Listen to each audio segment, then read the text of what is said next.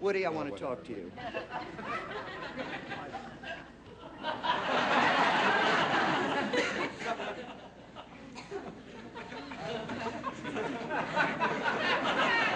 Look, Maude, you do your job and we'll do ours and everything's going to be okay, all right? No, Woody.